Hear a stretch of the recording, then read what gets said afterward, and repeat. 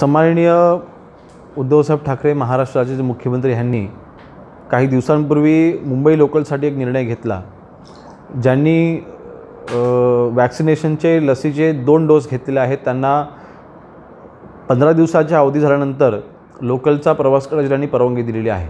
पंधरा ऑगस्टपासून पासून त्याची सुरुवात होते. त्याच धर्तीवरती कोकणवासियांसाठी अतिशय जिव्हाळ्याचा विषय असलेला म्हणजे आपला गणेशोत्सव या गणेशोत्सवासाठी अनेक चाकरमानी परदेशातून देशातून अन्य राज्यामधून कोकणाकडे वळत असतात येत असतात. परंतु आता इतक्या मोठ्या ओघाने जेव्हा जनता जेवायला येते त्यांचा प्रवास अजून सुखर करण्यासाठी एक महत्त्वाचा निर्णय असाही होऊ शकतो. मुंबई लोकलच्या धर्तीवरती ज्यांनी दोन डोसेस लसींचे घेतलेले आहेत असंच्यांसाठी तुम्ही वेगळं ॲप्लिकेशन जे तयार केलेलं आहे त्याच्यामध्ये तुम्ही जे पासेस देणार आहात त्याच्यामध्ये कोकण रेल्वेसाठी देखील पास देऊन चाकरमानांना गावाकडे येण्यासाठी त्यांनी तुम्ही आपण परवानगी द्यावी अशी मागणी कोकणातील आम्ही सर्व आमदार एकत्र येऊन सन्माननीय मुख्यमंत्री मोदी यांच्याशी करणार आहोत. आणि मला विश्वास आहे लवकरच त्या मागणीला यश येईल. महाराष्ट्र टाइम्सचं यूट्यूब चॅनल सबस्क्राईब करा आणि लेटेस्ट अपडेटसाठी बेल आयकॉनवर क्लिक करा.